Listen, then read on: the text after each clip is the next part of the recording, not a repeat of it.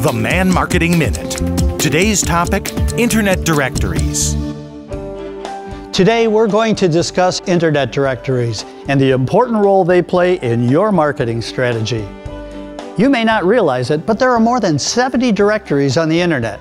Think of them as the yellow pages of the internet. And even though you may not have set them up, your business probably has one or more listings on each of them.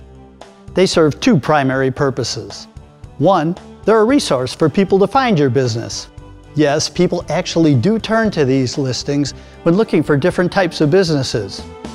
Recently, I was reviewing a dealership's website analytics and found that over 300 visitors came directly from these directories in a month's time. The second purpose is equally as important. Google scans all of these directories to make sure it's delivering the most accurate result to your internet search.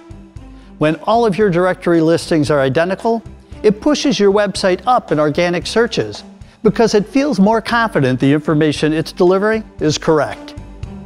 And the trick is all directories have to be identical. Same address, same phone number, exactly the same company name. When all of the directories are perfectly aligned, your SEO skyrockets.